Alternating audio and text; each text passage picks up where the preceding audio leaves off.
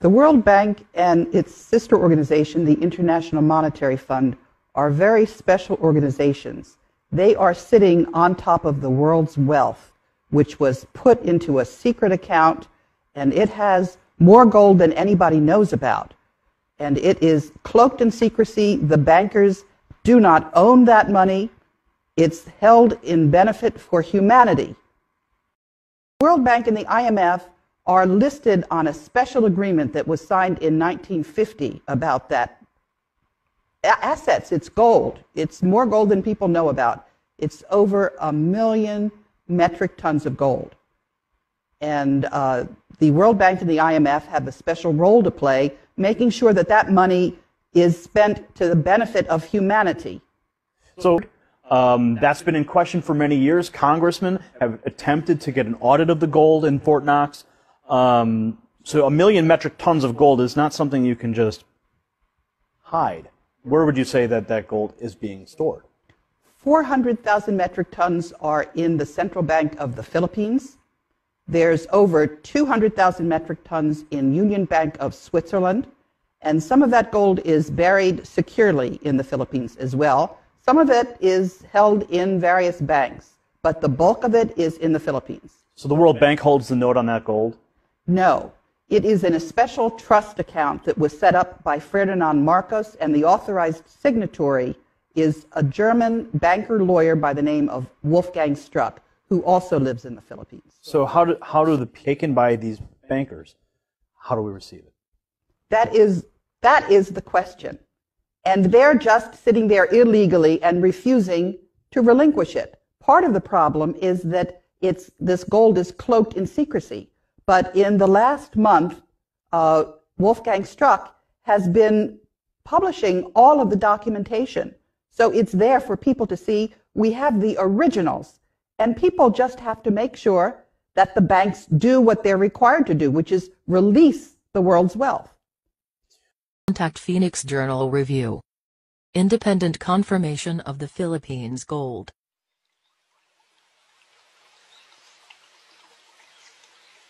Throughout the Spanish occupation of the Maharlika, members of the Tagay Tallano clan have been visiting Europe since some of their relatives were English and Austrian. From 1866 to 1898, Prince Julian Macleod Tallano who became titleholder of OCT 01-4 in 1864, had also been frequenting the Vatican. In 1934, under Pope Pius XII, the Vatican negotiated with a member of the Filipino royal family, the Christian Tallano clan in the Maharlika. An agreement was reached that 640,000 metric tons of the Tallano gold would be lent to the Pope. This was part of that gold accumulated by the Southeast Asian Srivijayan Majapahit Empire during its glorious reign of 900 years. In 1939, two members of the Tallano family and a Roman Catholic priest, Father Jose Antonio Diaz, brought the gold from Kota Kinabalu, Sabah, to the Vatican. After doing this, Father Diaz went back to the Maharlika and resided in Cabanatuan City. After World War II, he facilitated the safe return of the 640,000 metric tons of gold from the Vatican to the Maharlika. Manuel Acuña Roxas a relative of the Acuña Tallano clan, then a congressman, and Bishop Enrique Sobrepeña Sr., in the presence of attorney Lorenzo Tañada, received the Golden Manila. Having gained the trust and confidence of Father Diaz, the Tallano clan made him the main negotiator and trustee of their gold. Father Diaz, in turn, hired the services of attorney Ferdinand Marcos, then a highly recommended brilliant young lawyer having attained notoriety when he successfully defended himself in the Nalundasan case in 1939. The Tallano clan paid commission to Father Diaz and attorney Marcos in gold, 30% from the principal of 640,000 metric tons. In 1949, the two richest men in the world were Father Jose Antonio Diaz and attorney Ferdinand Marcos, between the two of them they legitimately earned and owned 192,000 metric tons of gold. Ferdinand Marcos withdrew their share of the gold from and Marcos brought their gold to Switzerland, in the Swiss Bank Corporation in Zurich.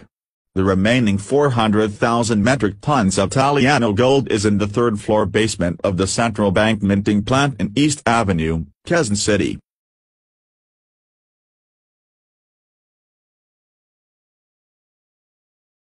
Gold for gold, dollar for dollar, this country, the Maharlika, is the richest country in the world. During a talk show in a U.S. TV the week following the bombing of the New York Twin Towers, President Bush was asked this question, which is the richest country in the world today? With a smile he said, the Philippines.